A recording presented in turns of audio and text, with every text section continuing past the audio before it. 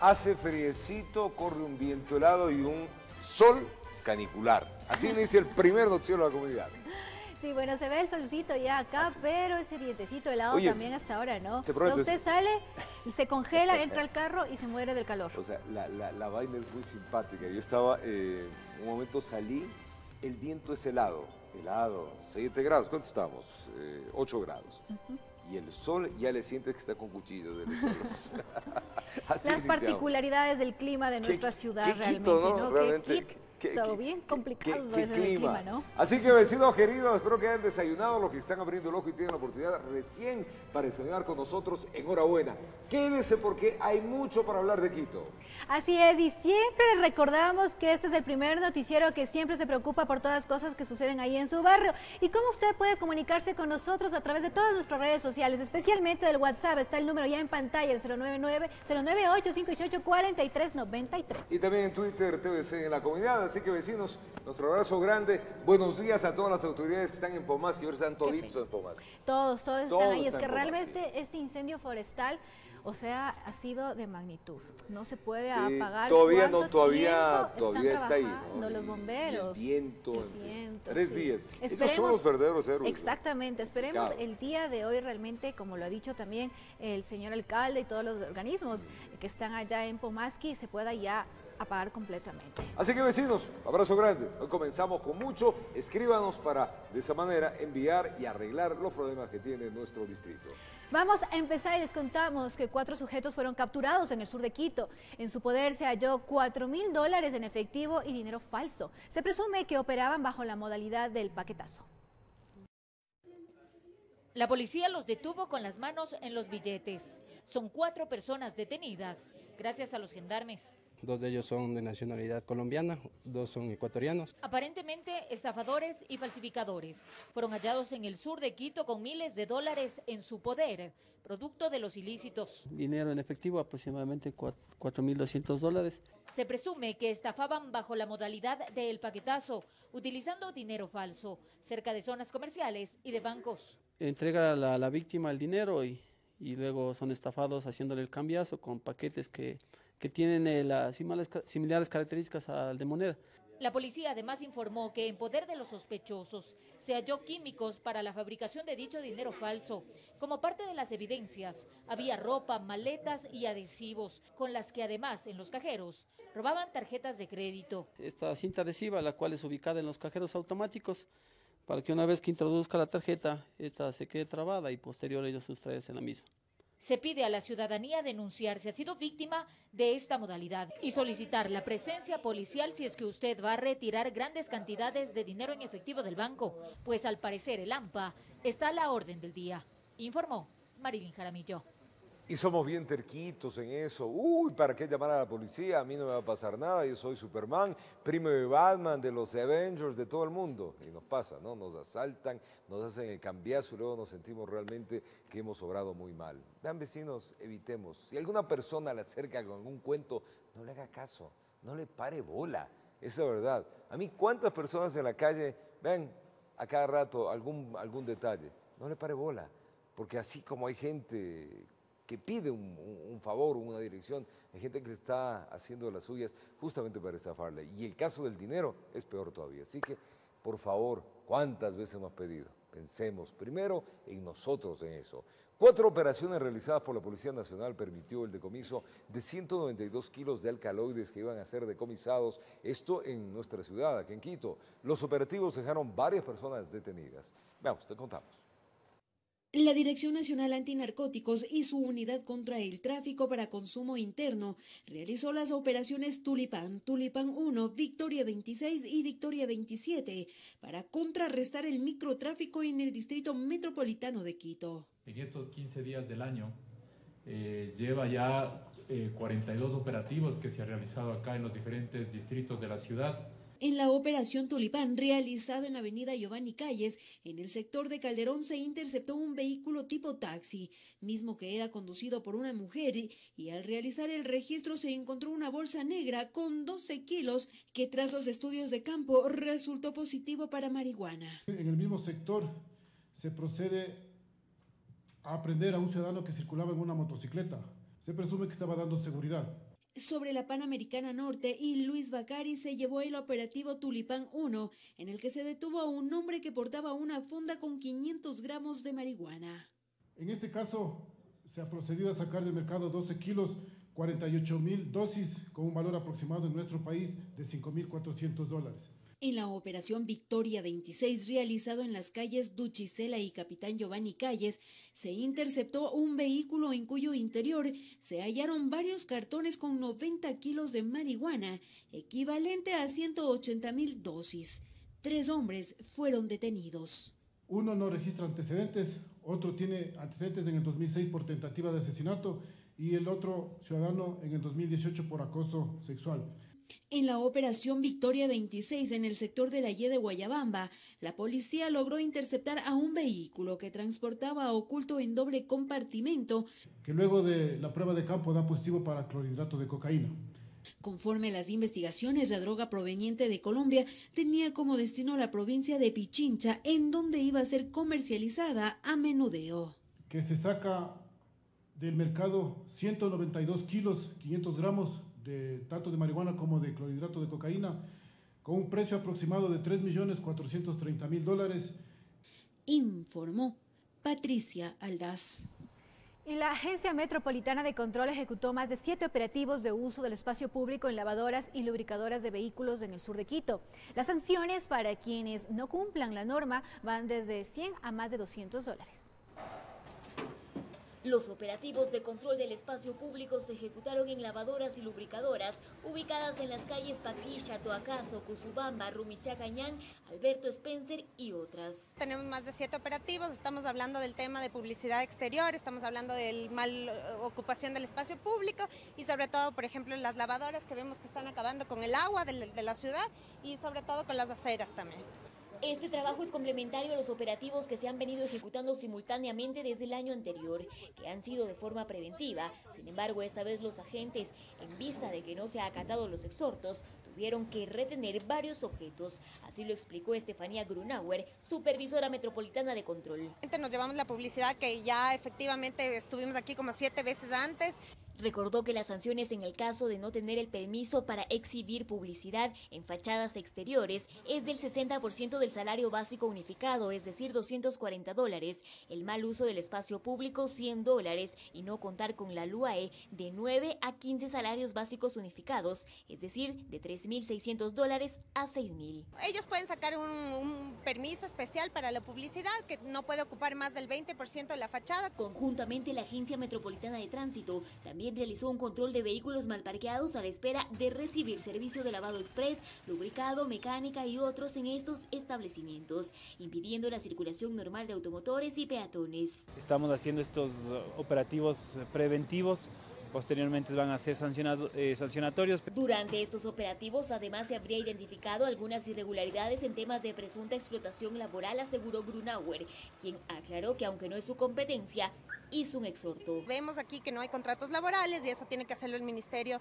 de Relaciones Laborales para que ellos también vengan acá. Les exhortamos también a ellos para que hagan este tipo de operativos.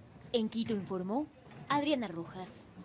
Ministerio de Trabajo, así se llama. Relaciones laborales ya no es. Trabajo, así como, porque es un ministerio que, que vela el bienestar de todos.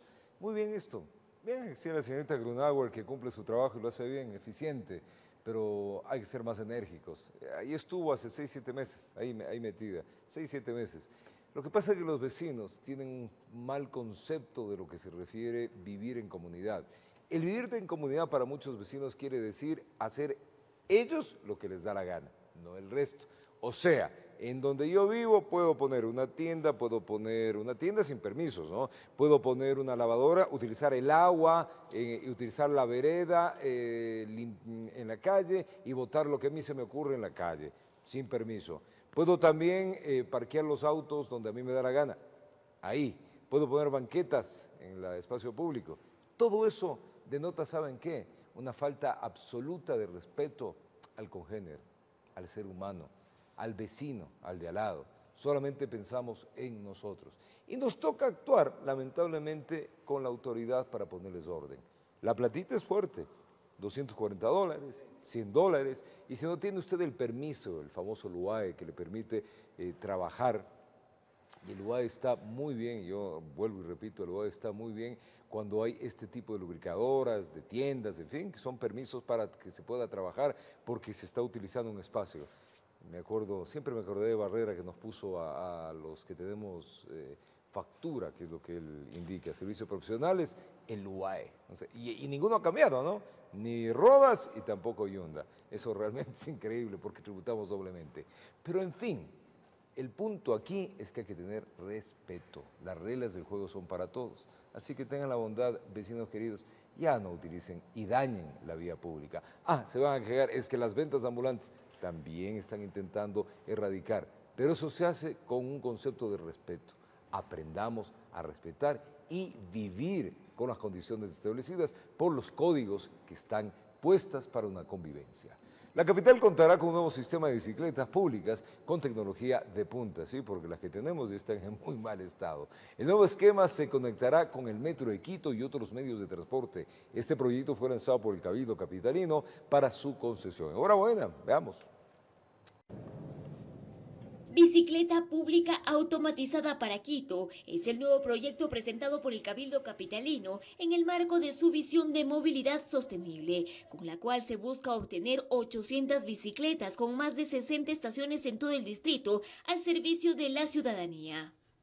Ese es el, proyecto que se va hoy a entregar a la EMOV, quien va a ser la encargada de ejecutarlo. Va a ser una, una eh, eh, eh, concesión la que se le va a entregar como se lo ha hecho en otras ciudades del, del mundo. Este proyecto operará totalmente automatizado con tecnología de punta. En las estaciones las bicicletas tendrán un sistema de anclaje y desanclaje automatizado y con GPS. Se contará con rutas que abarquen desde Quitumbe hasta el Bicentenario. Además, el usuario estará protegido con un seguro de vida. Donde podamos tener unas ciclovías seguras y que, y que podamos hacer uso de ellas de, eh, con todas las garantías del caso, con todas las garantías de seguridad vial. Este sistema estará diseñado para que el usuario pueda alternar sus viajes con otros tipos de movilidad urbana como el metro de Quito. Lo que queremos con este proyecto de bicicleta pública, que un día nosotros bajemos de una estación del metro y podamos utilizar una bicicleta pública y desplazarnos a nuestro destino de viaje en este sentido están planteadas que estén en casi todas las estaciones del nuevo metro, en las terminales de los corredores de BRT, en las paradas más importantes de transporte público, cerca a sitios de, y zonas de atracción, como son, les había mencionado, escuelas, centros educativos, hospitales, centros comerciales. Se estima que en tres meses se pueda adjudicar el proyecto y en tres meses más poder implementarlo. En Quito informó Adriana Rojas. En buena hora que se fomente el uso de este tipo de bicicletas en la ciudadanía, ahora bicicletas de punta con tecnología, que no solamente esto hará que haya una mejor movilidad en la ciudad y que ya no haya tanto tráfico, sino que además usted al usar la bicicleta pueda hacer ejercicio, que es lo que tanto se necesita. Pero eso sí, hay que cuidar, hay que cuidar cuando se adquieran este tipo de bicicletas, hay que cuidarlas para que puedan durar en el tiempo y sobre todo eh, se puedan mantener este tipo de proyectos en la ciudad que tanto beneficio dan no solamente a nuestro planeta, sino también a nosotros como seres humanos. Les contamos que luego del 20 de enero se espera un incremento de precipitaciones en el litoral ecuatoriano. Un técnico del INAMI aseguró que la ola de calor irá disminuyendo en Guayaquil. Las temperaturas que soporta Guayaquil en los últimos días sobrepasan los 32 grados. Este comportamiento climático está caracterizado por cielos despejados, días calurosos, además de noches y madrugadas con temperaturas bajas. Sin duda esta situación causa malestar y preocupación a quienes habitan en el puerto principal. Demasiado caluroso y un tremendo sol por salir. Aunque las calores sí estaban para matar ayer. ¿Mete calor quién no provoca meterse en la pileta? Según el Instituto Nacional de Meteorología e Hidrología INAMI, se trata de una anomalía climática que también afecta a otros países de la región como Colombia y Perú, lo que significa que el calor y el sol intenso responde al cambio de dirección en la circulación del viento. Se ha visto totalmente este tipo de comportamiento, cielo poco nubosos o parcial nublados y temperaturas muy altas en sí. Ha habido un poco de descenso en sí de temperaturas máximas correspondientes bajo la sombra, y lo cual vemos también precipitaciones de tipo aisladas que se han presentado en el puerto principal.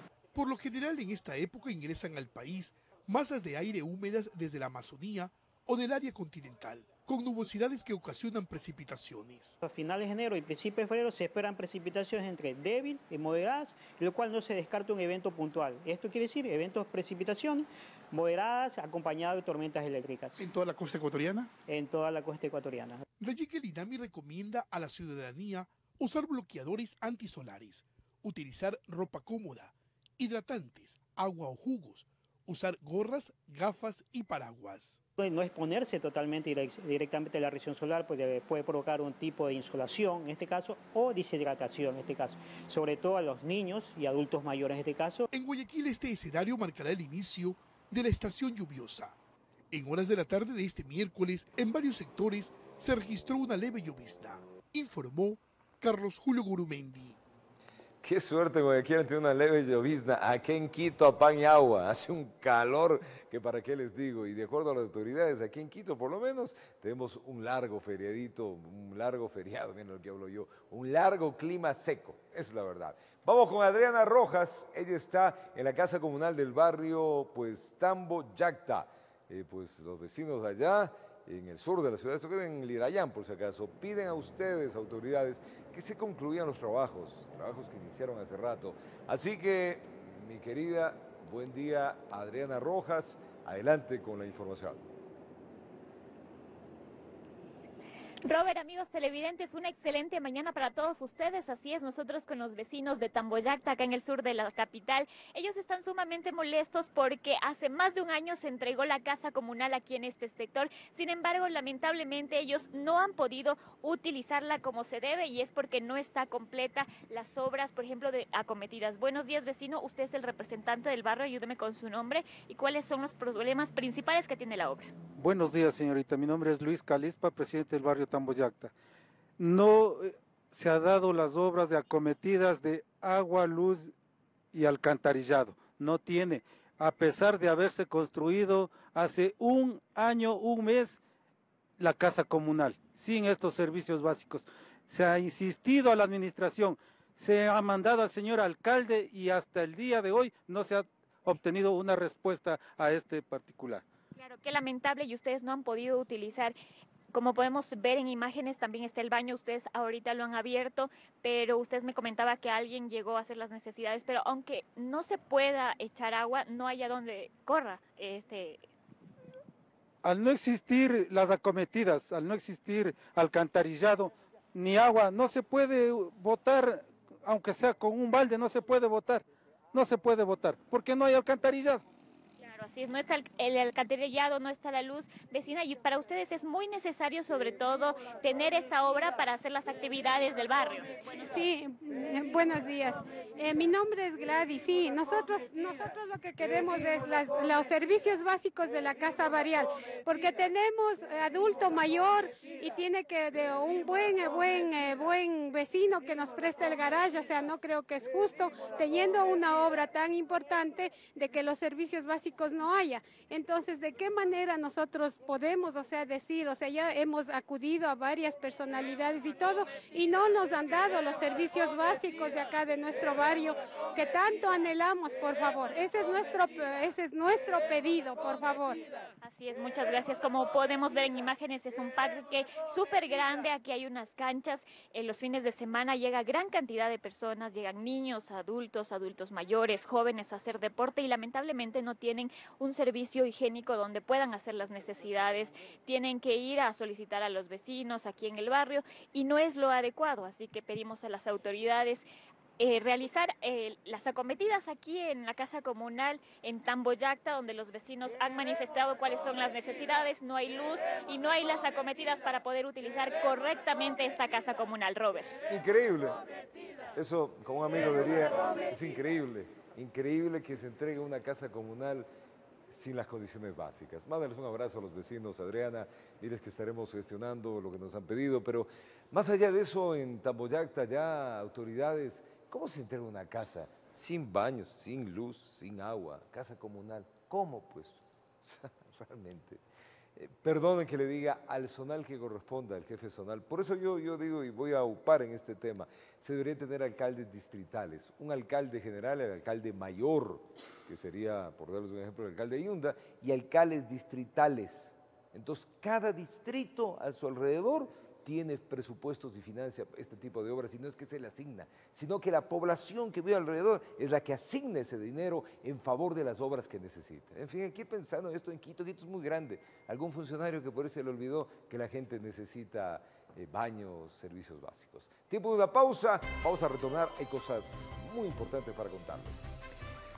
Al retornar les contamos que un nuevo pedido de juicio político contra la ministra de Gobierno, María Paula Romo, fue presentado en la legislatura por el supuesto incumplimiento de funciones en las protestas del mes de octubre. Para este día jueves está convocado el Consejo de Administración Legislativa que se llama CAL para analizar el pedido del asambleísta Fabricio Villamar que se busca declarar abandono del cargo a los legisladores que están ahora los correístas que están asilados allá en Ciudad de México. Esto y más al retornar. Ya venimos.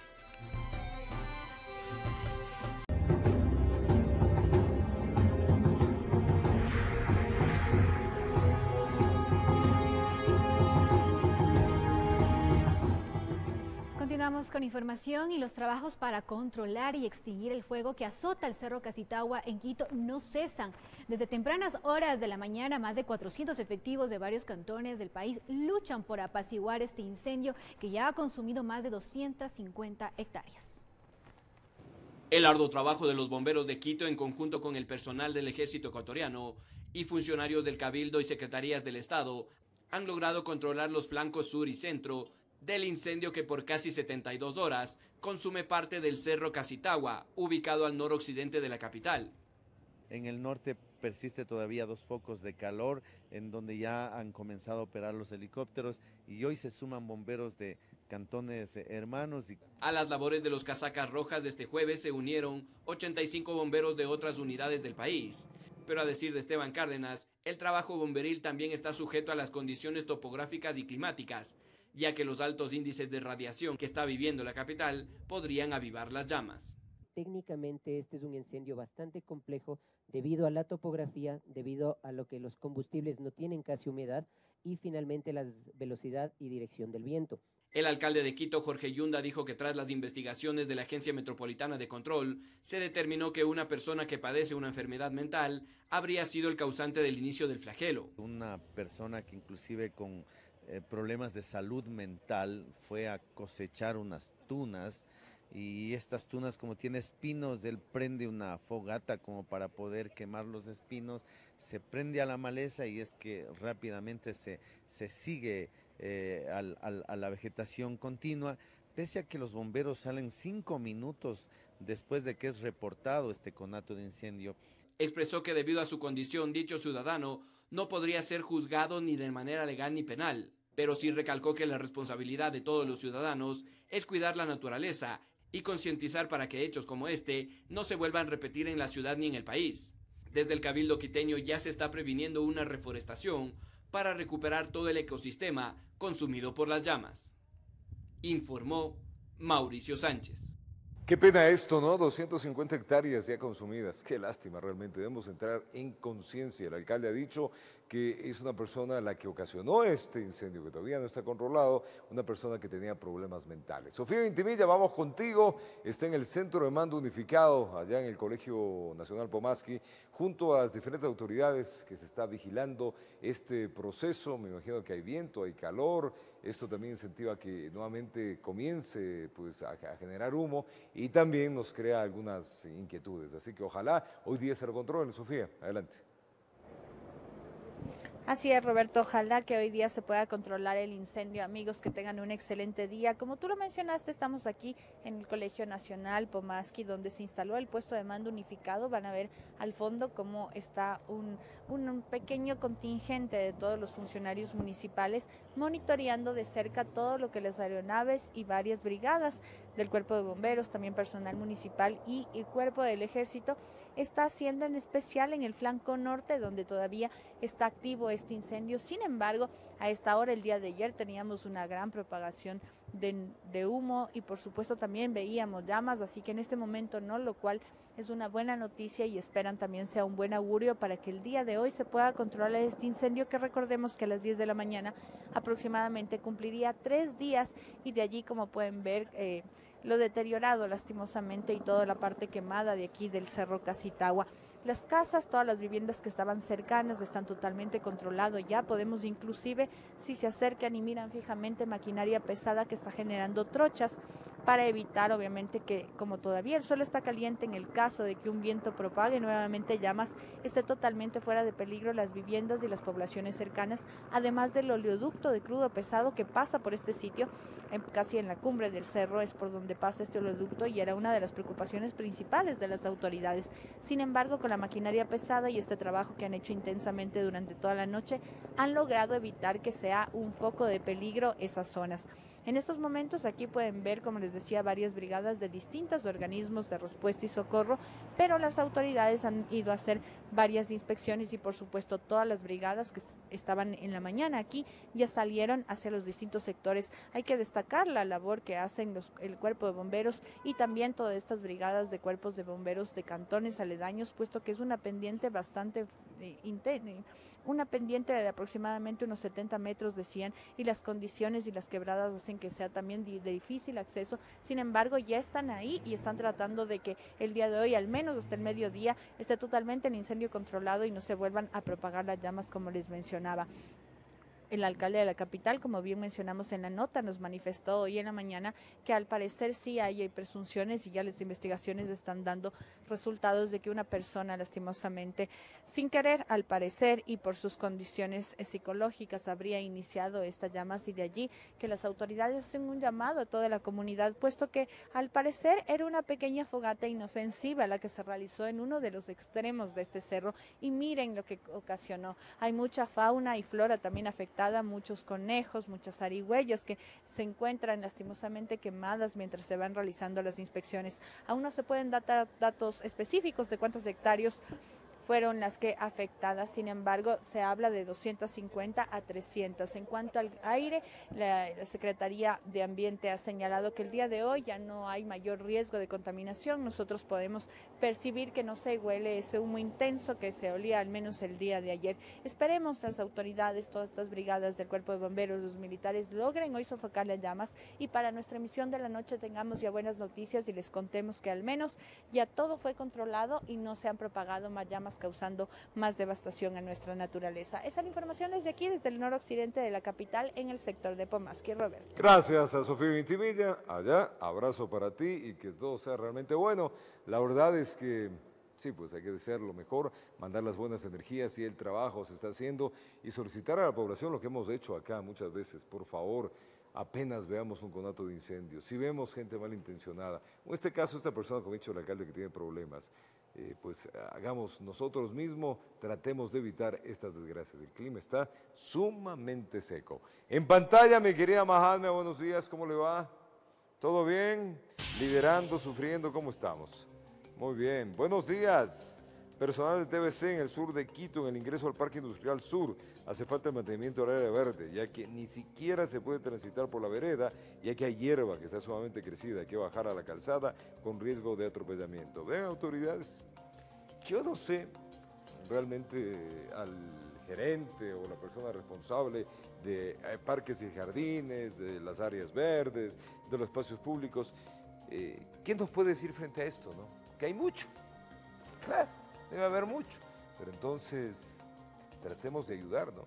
¿Cuántas quejas de parques? ¿Cuántas hay? Vean esto, zona industrial del sur. ¿Hace cuánto, no? Y no es por molestar, nosotros no somos los que mandamos las fotos, es la gente la que manda las fotos. Roberto, ¿cómo es posible que el Departamento de Parques y Jardines no se abastezca para dar mantenimiento a los parques de la ciudad?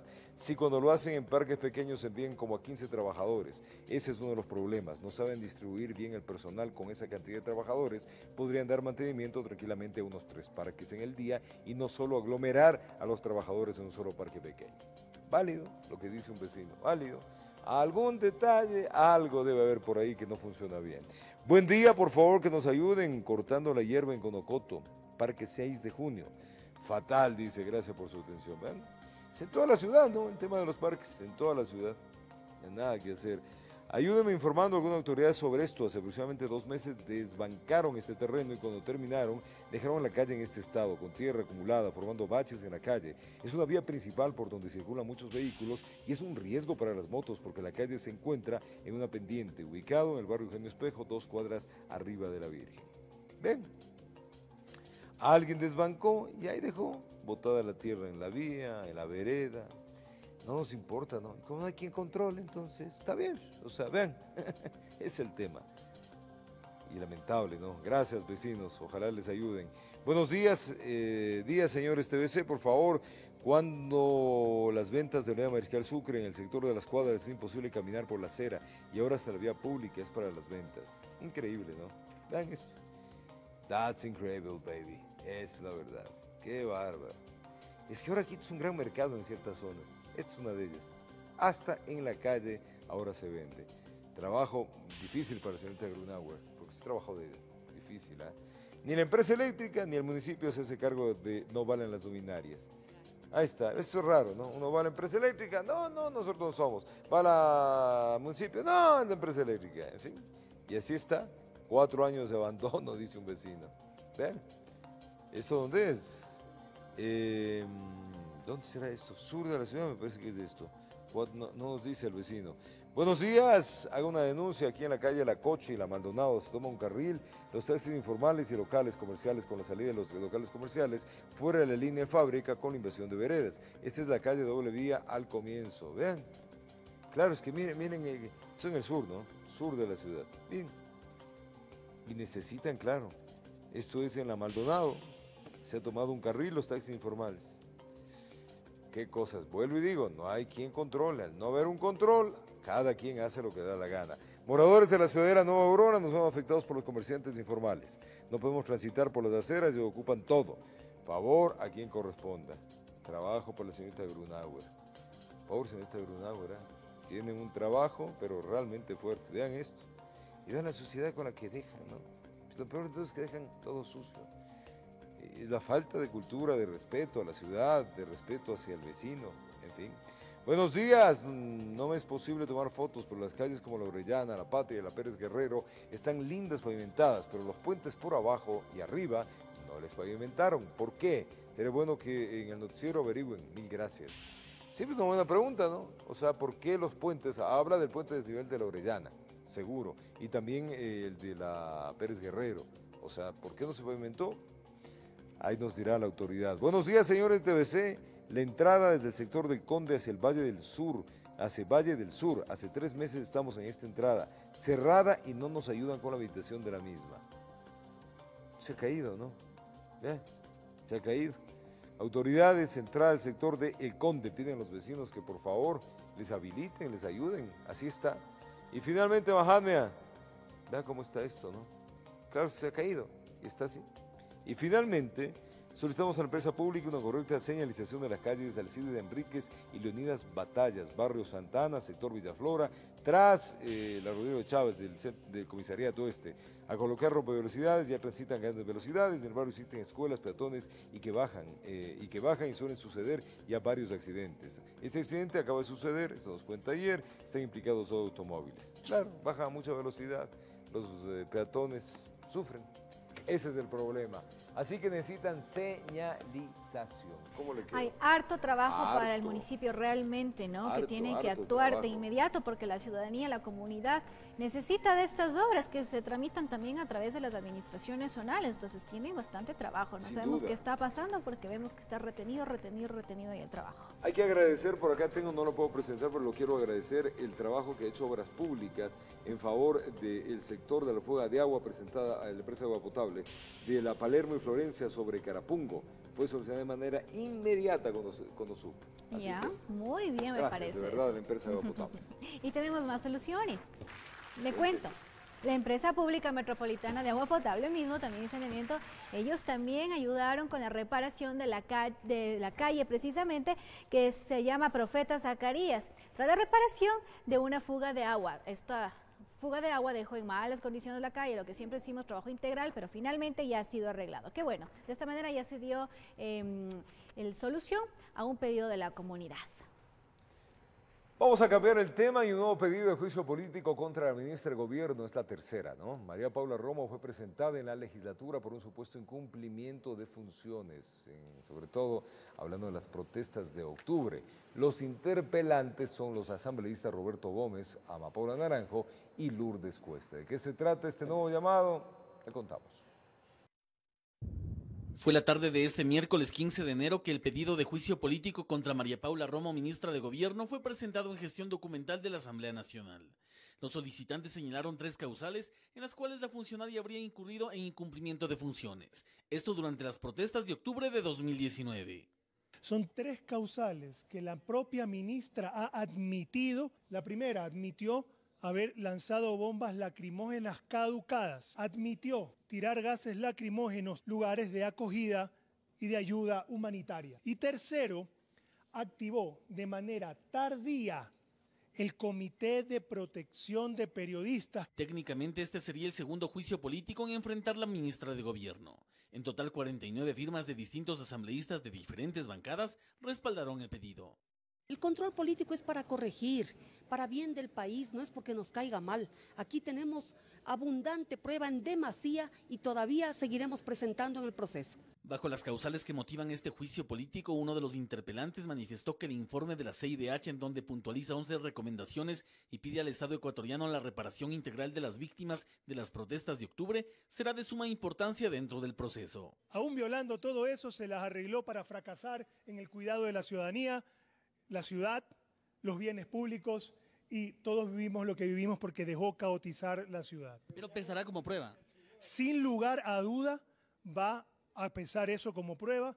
Es un reconocimiento externo de la realidad que nosotros también hemos adjuntado como prueba. El anterior juicio político que enfrentó Romo fue archivado el pasado diciembre, por falta de pruebas en torno a la crisis carcelaria, mal uso de bienes públicos y casos de femicidio.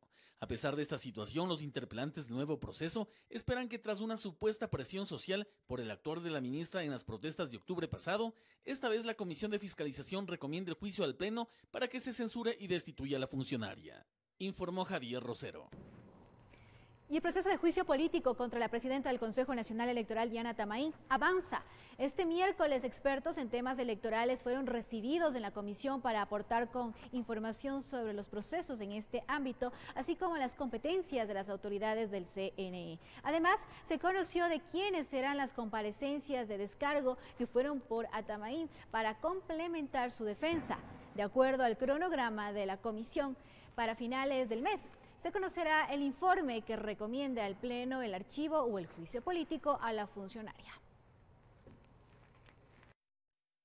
Eh, las comparecencias tienen relación a las denuncias presentadas sobre los problemas en la provincia de Los Ríos. Prácticamente se solicita que venga el presidente, de la, el expresidente de la Junta Provincial de Los Ríos y el director eh, provincial de la delegación del CNE en la provincia de Los Ríos, el que está actualmente en funciones, además del director de la provincia de Manaví. Son las tres comparecencias que han sido solicitadas de parte de Diana Tamaín.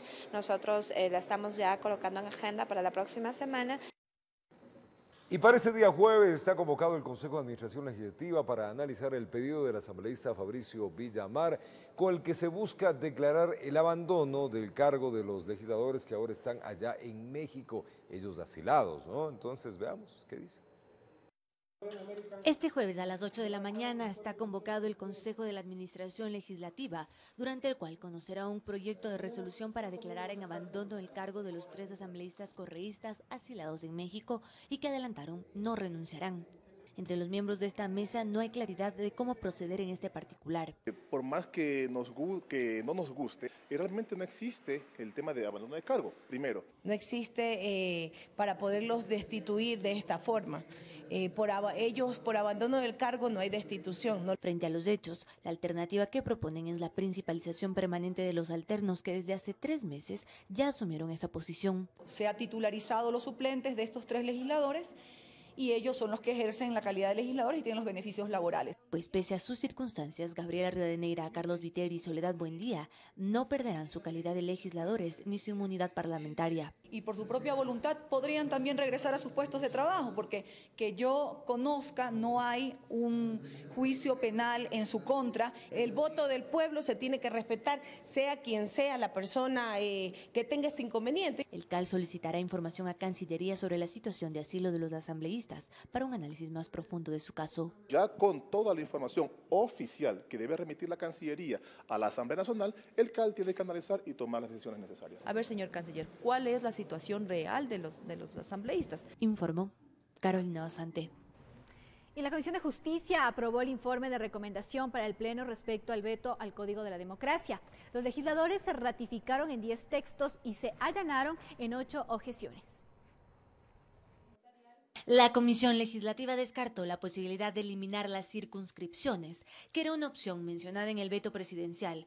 En esta objeción, los asambleístas ratificaron su texto aprobado sin dar posibilidad a que esto ocurra. Un error tremendo del Ejecutivo en donde pretendió vetar un artículo que no fue aprobado por la Asamblea Nacional y nosotros eso no lo vamos a pasar, ni lo vamos a permitir. Insisten también que la licencia sin sueldo obligatoria para autoridades que deseen postularse a la reelección sea a partir del inicio de la campaña, o sea 45 días y no 100 días como proponía el Ejecutivo ya que hay temor que en el momento de que esta licencia se extienda demasiado pueda tener problemas administrativos en todos los niveles de gobierno. Así es, esto, esto significaría una regla para todos los que quieran participar en la elección eh, con los consecuentes riesgos también. En los allanamientos sugieren optar por la propuesta de incentivos económicos para fomentar las alianzas partidistas precisamente para motivar alianzas dentro de los procesos electorales. Y apuestan por el planteamiento del Ejecutivo de mantener los actuales requisitos para ser candidatos.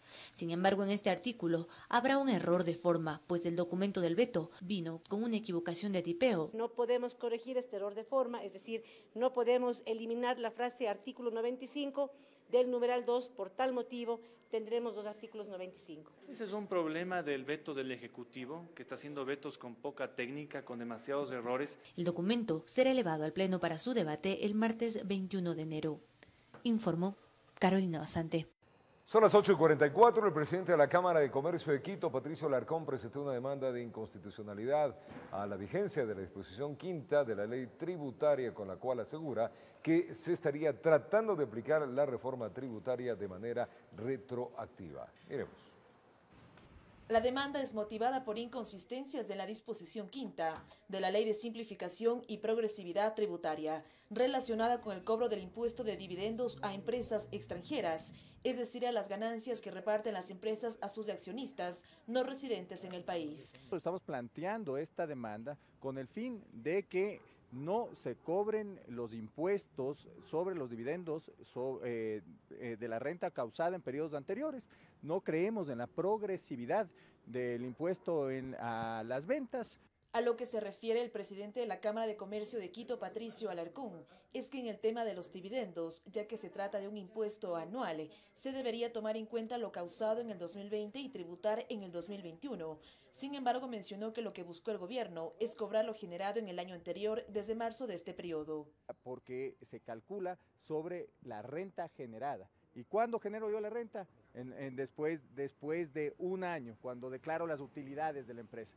El abogado de la Cámara, Stalin Raza, precisó que lo que se solicitó es la suspensión de los artículos relacionados tanto con dividendos como con la contribución a las ventas. Porque no hay forma de establecer retroactividad para los impuestos, porque eso vulnera la seguridad jurídica de esa norma y también de la norma que tiene que ver con eh, la distribución de, los, eh, de las utilidades a las empresas extranjeras. El Partido Social Cristiano también presentó una demanda de inconstitucionalidad con el mismo fin. Si las demandas versan sobre lo mismo, lo que la Corte probablemente hará es acumularlas y tramitarlas de manera conjunta. A dos semanas de haber sido publicada la ley tributaria, ya se han presentado dos demandas de inconstitucionalidad a la vigencia de la disposición quinta. Con esta normativa, el gobierno tiene previsto recaudar unos 600 millones para el presupuesto general del Estado, informó Priscila Cadena. Ecuador inició la exportación de cobre obtenido desde la mina Mirador, situado en la Amazonía, eh, a través de la empresa china Ecuacorriente la cual pretende operar en la zona durante 30 años y entregarle alrededor de 9 mil millones de dólares al país. Enhorabuena, veamos. Las big bags o grandes fundas con el material al granel eran embarcadas hasta el buque en cuyo interior serían trasladadas hasta China. Así es como se dio inicio a un proceso denominado como histórico, porque Ecuador empieza su actividad exportadora de cobre. Para el país esta es una fecha muy importante. El día de hoy eh, el Ecuador hace su primera exportación al granel, como lo decías. Se tiene previsto que la actividad en la mina Mirador se desarrolle durante 30 años tiempo en el cual Ecuador recibiría por lo menos 9 mil millones de dólares. Eh, la compañía Ecuacorriente entregó los 15 últimos millones de dólares de un total de 100 como anticipo eh, para el tema minero, sin estar todavía en producción. La conquista del cobre como proyecto tuvo sus inicios hace 25 años con los estudios necesarios hasta que el 18 de julio del 2019 se procedió con la extracción de la mina Mirador, situada en la provincia de Zamora Chinchipe en la Amazonía ecuatoriana. Para el 12 de noviembre del mismo año se dio paso al inicio de las tomas de muestras. Una vez que el metal llegó hasta el puerto de Guayaquil, la tarde de este martes se procedió a cargar la embarcación y 48 horas después estará listo para zarpar. Está autorizado la exportación de 24.384 toneladas. Como ustedes escucharon del viceministro, el momento se va a exportar únicamente 22.000 por la capacidad del buque. Sí, el material se acopia en unas bodegas que nosotros tenemos tanto on-pot como, como off-pot. Pues lo que estamos haciendo es llevando al mundo un producto que es de Ecuador. Informó José Morales. En el mes de febrero, Ecuador participará en la feria Fruit Logística 2020, donde se expondrán productos nacionales, esto bajo la marca Ecuador Premium, una iniciativa para mejorar la visión agropecuaria y productiva del país. Enhorabuena también estas cosas. Veamos dar a conocer la calidad de oferta exportable agrícola ecuatoriana en los mercados internacionales. Es el fin para el cual se lanzó la marca Ecuador Premium and Sustainable. Esto constituye un preámbulo de la feria Fruit Logística 2020 que se llevará a cabo en la ciudad de Berlín, Alemania. Ahí se expondrá una variedad de frutas y hortalizas nacionales. Vamos como protagonistas, vamos a ser quienes aperturen la feria, vamos a ser quienes tengan una presencia importante en la feria, pero sobre todo vamos a ser quienes le muestren al mundo lo que sabemos hacer bien los ecuatorianos. El segundo mandatario defendió el modelo productivo del país. Que si bien es cierto, tenemos que buscar otras actividades y tenemos que seguir diversificando y emprendiendo en el mundo tecnológico, entrando en la era digital, por supuesto, pero lo uno no excluye a lo otro. La presentación de esta marca es un trabajo conjunto entre el Ministerio de Agricultura, de Comercio Exterior y de la Corporación de Promoción de Exportaciones e Inversiones Corpey. Se estima una expectativa de ventas en la feria por más de 21 millones de dólares. Estamos exponiendo más allá de lo que es banano, frutas como la pitahaya, frutas como eh, la ovilla, tenemos también maracuyá, entre otras principalmente. Una vez que lo hemos logrado, y que quizás se desarrolle de manera natural para nosotros.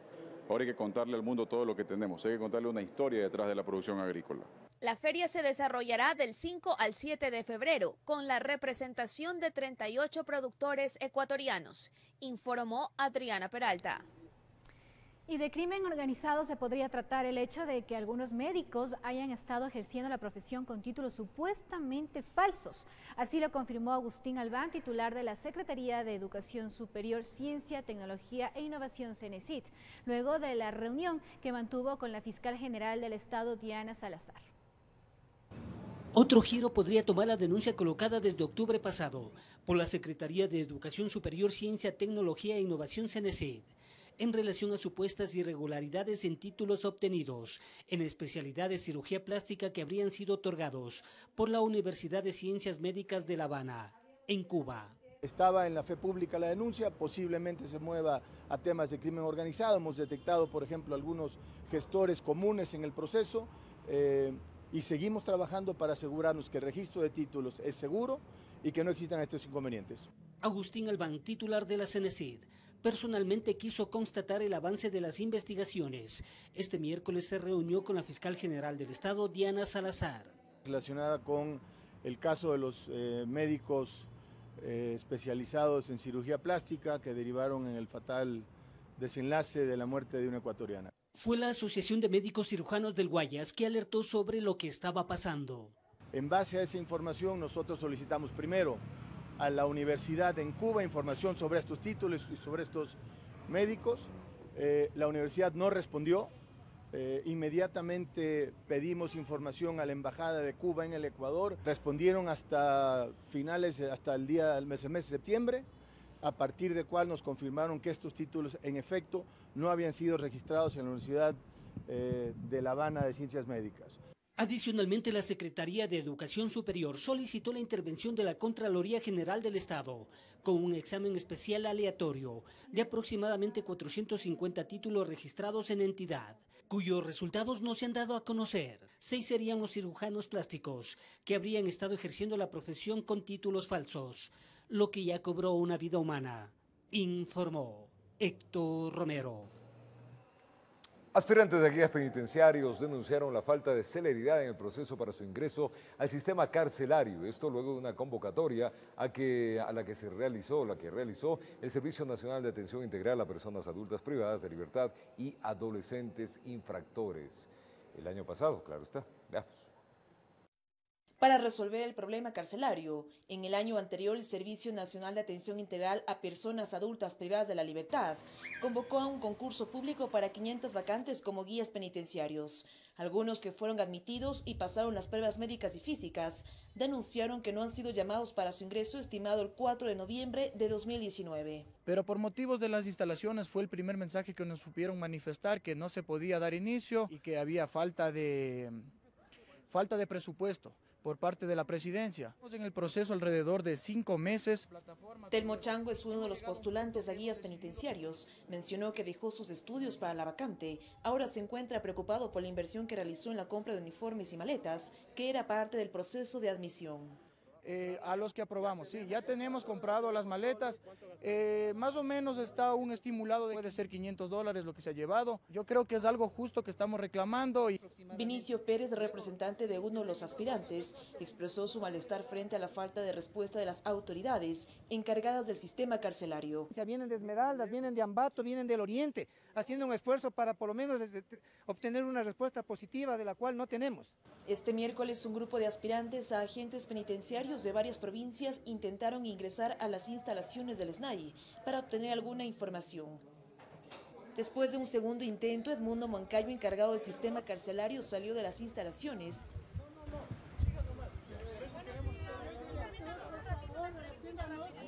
Su equipo de comunicación explicó que Moncayo tenía una reunión en presidencia y que iban a ser recibidos en una reunión. Tres de la tarde les va a atender para que por favor vengan a las 3 de la tarde porque les va a atender. Son 500 aspirantes a guías penitenciarios a escala nacional eh, que se sumarán a los más de 1.500 existentes para los 36 centros de rehabilitación social eh, con más de 40.000 privados de la libertad, informó Priscila Cadena. Y las Fuerzas Armadas a través del Grupo Operacional 1.4 Esmeraldas durante el desarrollo de las operaciones militares de seguridad y protección de fronteras en el sector La Cadena vía Puerto Rico en Mataje hallaron una trampa explosiva, misma que fue destruida por expertos. Así lo indica un comunicado difundido por la institución.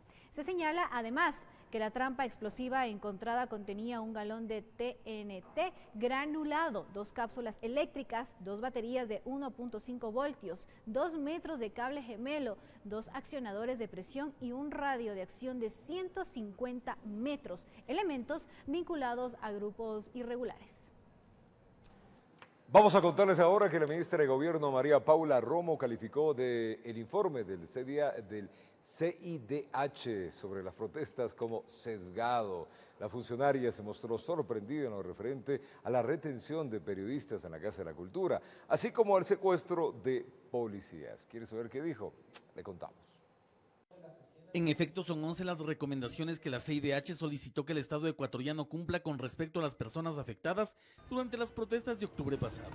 En las mismas pide una reparación integral de las víctimas. Uno puede mirar unos párrafos, unas recomendaciones eh, con las que coincidimos, otras que ya las estamos haciendo. Se habla de la importancia de un diálogo sobre las medidas económicas o sobre las decisiones económicas que se puedan tomar. Entre esas está el desarrollar un proceso nacional que permita consultar y brindar información a personas afectadas por las decisiones económicas. Sin embargo, existen otras recomendaciones que dijo le han sorprendido. Y la CIDH lo, lo recoge de la siguiente manera. Durante la visita realizada al Ecuador para establecer los hechos, los movimientos sociales involucrados reconocieron la situación de tensión. Y sin embargo de que algunos periodistas reconocieron que no fueron retenidos, otros entrevistados insistieron en decir que interpretaron como detención el hecho de que les habrían solicitado realizar transmisiones en vivo desde el lugar. Hay, algunos hechos que realmente nos parece que deberían recogerse con mayor exactitud. Enfatizó que este organismo debe tener una mirada realmente más honesta sobre lo que está sucediendo y no adoptar ningún sesgo. Hubo gente golpeada, secuestrada, retenida, policías amenazadas con ser violadas. Las evidencias están ahí, las personas están ahí, no son rumores, no es un estudio de un ente independiente sin firma que dice cuántos miles de personas, no, son los documentos oficiales, están ahí. El Estado ecuatoriano ha sido lo más transparente para decir en una situación de conflicto extremo, estos fueron los resultados. Roma aseguró que el informe de la CIDH será contestado por el gobierno nacional. Aclaró, por ejemplo, que parte del sesgo del informe se encuentra en que no todas las personas que murieron durante las protestas son indígenas. No es así, es más complejo el escenario, pero por supuesto con, con una visita de tres días tal vez esto no se alcanza a mirar y se privilegió un enfoque que creo que es solamente un pedacito de todo el cuadro. Sobre el mismo tema manifestó que el Estado ecuatoriano es el primero en buscar que se arreglen estas circunstancias. Espera que todo pueda desarrollarse con el menor sesgo posible. De ahí que espera que tanto los encargados de administrar justicia o los encargados de construir mejores condiciones para la vigencia de los derechos humanos lo hagan desde posturas lo más neutrales posibles. Informó Javier Rosero. Momento de una pausa comercial. Al retornar les contamos que con el fin de cumplir el sueño americano, una nueva caravana de migrantes partió desde Honduras rumbo a Estados Unidos. Y existe tensión en Venezuela luego de que diputados opositores fueran agredidos por ciudadanos cuando los funcionarios intentaban ingresar al Parlamento y la policía no hizo absolutamente nada, dice la oposición. Esto y más le estaremos contando al retornar en el primer noticiero de la comunidad. Son las 8.59 en la mañana, 13 grados centígrados, la temperatura en el distrito metropolitano de Quito. Ya venimos.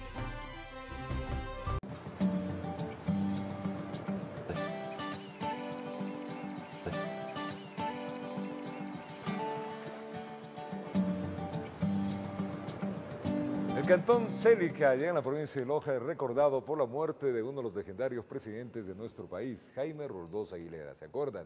Esto sucedió en el año 1981. En este lugar, el avión donde se transportaba pues el presidente y su comitiva, incluidos ministros, recuerdo que algunos ministros, pues se estrelló en el cerro Guairapungo. Así que los detalles en el siguiente informe. Veamos. En el cantón Celica de la provincia de Loja, aparte de ser hermoso, es recordado por la muerte de uno de los legendarios presidentes de nuestro país, Jaime Roldós Aguilera.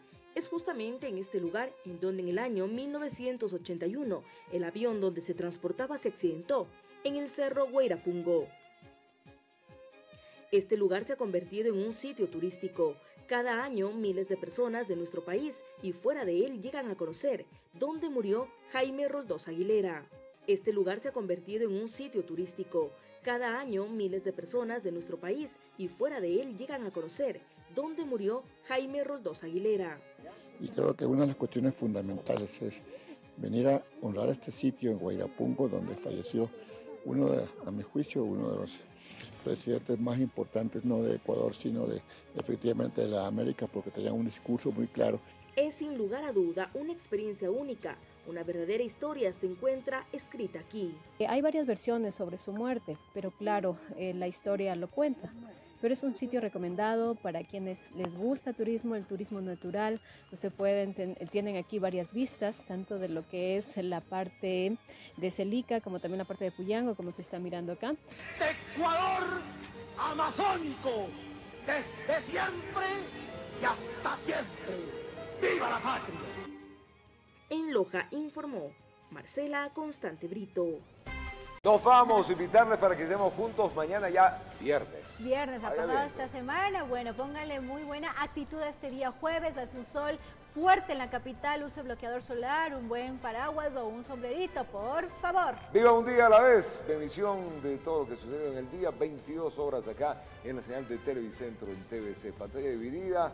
La Cari y el Martín, ¿no? Hola chicos, ¿cómo Ah, están? hola días. chicos, ¿cómo están? ¿Cómo muy, pero Buenos muy días. buenos días, súper contentos. Este sol radiante que bueno, sí, está bastante fuerte y la radiación, pero a uno sí le pone de buen genio. Yo no sé si les pasa a ustedes, pero a mí sí como que me inyecta. Porque no va en el auto, ¿no? Exacto, hasta Claro. ahora, la hora que más Claro, calor la hora hace, que más no va calor. en el auto. Uy, a mí me encanta el sol. a ver, o a las once y media del día uno en el auto y No doblado. Salimos de esa hora de acá, pero bueno, lo- lo- otra cosa bonita, los atardeceres. Qué lindos Eso colores sí que es se lindo. A Ah, eso con sí. eso. La, la, la, Un la, cambio de sí, colores sí, sí, muy, es muy lindo. bonito. Pero Sí, bueno, en sí, todo sí. caso, como ustedes decían, hay que cuidarse de este sol que pica, que muerde, Muerde, que no muerde. perdona. Hay que hidratarse. Sí, sombrillita, bien hidratados, gorrita, protector solar, creo que eso es súper importante, estamos advertidos, ya sería nuestra culpa si no hacemos lo que Sí, tenemos yo que sí hacer, me ¿no? Sí, se hidrata. Sí. Sí, claro. ¿Con qué se hidrata, cabinerita señor así. Álvarez? Vea, una cabinerita de estas. Una, una cha, ahí, la, Heladita. Harta cebada también. Heladita. Una, me compré una refri esas chiquitas para el auto. Ahí. Ya saben, gusta invitados del carro del señor Álvarez. Así, así. Gusta, Entonces cuando uno está con sed, ¡toc! Ya está. Una ahí de, de un solo golpe. Pero claro.